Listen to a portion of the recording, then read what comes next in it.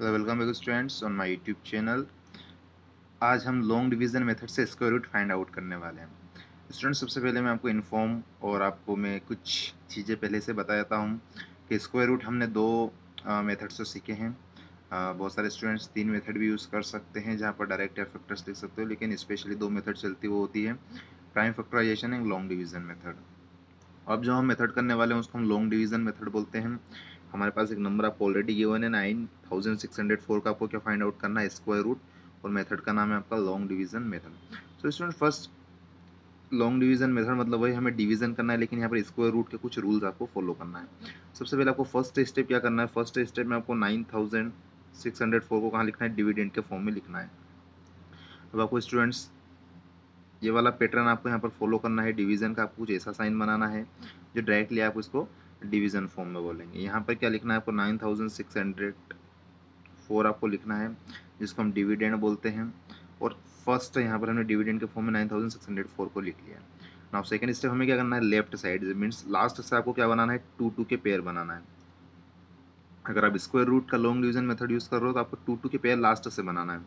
बहुत सारे स्टूडेंट ऐसा बोलते हैं कि, कि हम स्टार्टिंग से बना सकते हैं टू टू के पेयर तो आपको वो रॉन्ग है, क्योंकि यहाँ पर वन टू थ्री फोर यहाँ पर परफेक्ट डिजिट थी, इसलिए हमारे टू टू के पेयर बन गए, लेकिन अगर फाइव डिजिट्स होती थी यहाँ पर आगे एक जो नंबर रिमेनिंग बचता, उसका पेयर नहीं बन पाता, इसलिए वो थोड़ा सा क्या हो जाती है प्रॉब्लम क्रिएट हो जाती है। इसलिए आपको क्या करना है लास्ट से ही बनाना है। चलिए, जब भी आपको लास्ट से पेयर बनाना है, उसके बाद आपको फ़र्स्ट स्टेप करनी है देखिए हमारे पास फ़र्स्ट नंबर 96 आ चुका है। अब स्क्वायर रूट की थर्ड स्टेप आपको जो फॉलो करना है, वो मैं आपको बता देता हूँ, उसमें क्या है, आपको एक ऐसा नंबर लेना है जिसका स्क्वायर या तो 96 हो या 96 से कम होना चाहिए।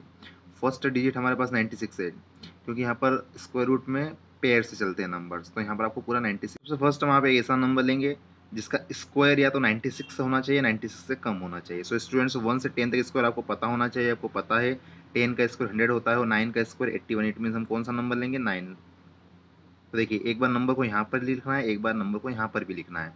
अब नाइन का स्क्वायर कितना होता है? एट्टी वन होता है।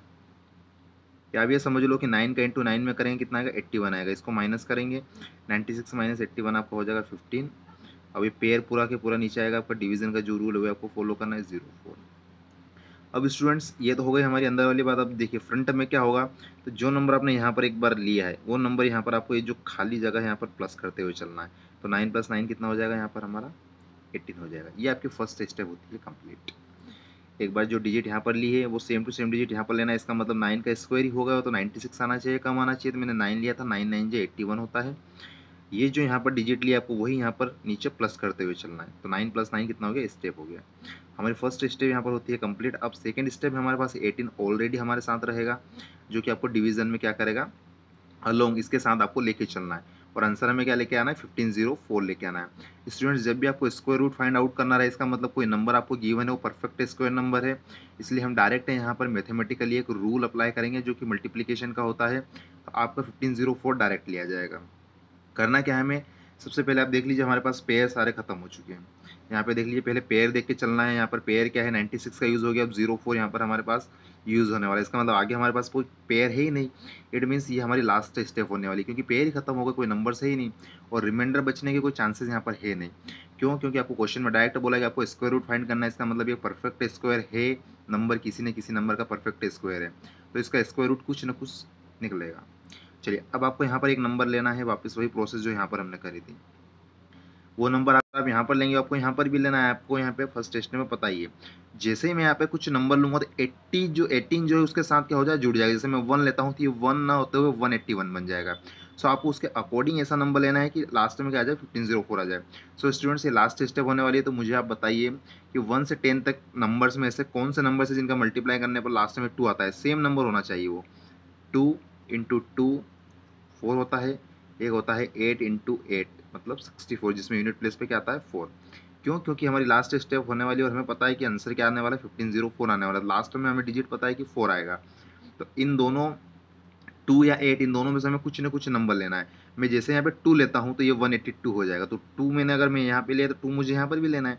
मैं 182 को टू टाइम्स मल्टीप्लाई करूँगा तो फिफ्टीन ज़ीरो फोर तो आने वाला नहीं है। इसलिए हम क्या लेंगे? 18 लेंगे। तो आपको 18 यहाँ पर भी लेना है और वही नंबर मैंने बोला था, यहाँ पर भी एक बार आपको प्लस करते हुए चलना है, जो नंबर आपने यहाँ लिया है। चलिए, ये बन गया 188 188 का मल्टीप्लाई एट एट में करेंगे तो चेक करते हैं कितना आ रहा है कि हमारा 150 फिफ्टीन ज़ीरो फोर बन रहा है नहीं बन रहा है? एट एट जा sixty four four six carry eight eight जा सिक्सटी फोर और seventy seven carry eight one जा एट और सेवन फिफ्टीन बिल्कुल राइट आंसर है एट आएगा। देखिए, मैंने यहाँ पर एट लिया है। जो नंबर यहाँ पर लिया है, वही की वही आपको यहाँ पर भी लेना है। लेकिन ये एटीन ऑलरेडी पहले से था तो ये वन एट्टी एट बन गया इसका मतलब पूरे नंबर वन एट्टी एट का आपको मल्टीप्लाई एट में करना है। आंसर आएगा फिफ्टीन ज़ीरो फोर इसमें से माइनस करेंगे रिमाइंडर बचेगा आपको ज़ीरो अब वन एट्टी एट ही हो गया था, अब आपको पता है जो नंबर यहाँ पर लिया उसी का प्लस यहाँ पर नीचे वाली जो खाली प्लेस है, इसमें करना है। तो ये तो आपको बन जाएगा वन नाइन्टी सिक्स अब स्टूडेंट्स आपको हमेशा पता होना चाहिए कि हमारा जो आंसर आता है, हम इसको वाले को क्या बोलते हैं? क्वेश्चन जो कि हमारा क्या हो गया? आंसर हो गया। इसका मीनिंग है nineteen zero nine thousand six hundred four का स्क्वायर रूट हमारा क्या निकला? नाइन्टी एट आप डायरेक्ट इसका फोर का क्या है? स्क्वायर रूट है। अगर हम प्राइम फैक्टराइजेशन मेथड से बड़े नंबर्स का अगर निकालते हैं स्क्वायर रूट तो बहुत लॉन्ग हो जाएगा। इसलिए लॉन्ग डिवीज़न मेथड आपके लिए बहुत हेल्पफुल है। अगर ये मेथड अगर आपको समझ में आ जाती है तो बहुत ईजी रहेगा। स्टूडेंट्स एक बात और बता देता हूँ मैं आपको, जो भी नंबर है, जिसका भी हम स्क्वायर रूट फाइंड आउट कर रहे हैं, उसका आंसर हमें पहले से ही पता चल जाता है कि वो आंसर कितने डिजिट से आएगा और लॉन्ग डिवीज़न मेथड की प्रोसेस कितने डिजिट में अप्लाई होने वाली है। वो डिपेंड करता है आपके पेयर के ऊपर।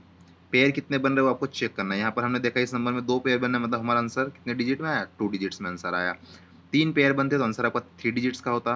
और उतने ही स्टेप्स आपको फॉलो करना है डिवीज़न में। ये वन स्टेप ये सेकेंड स्टेप सेकेंड स्टेप में आपका रिमाइंडर ज़ीरो आ गया है। तो जितने पेयर बनेंगे, उतने ही डिजिट का आपका आंसर आएगा और उतने ही स्टेप्स में आपका क्या हो जाएगा? डिवीज़न हो जाएगा।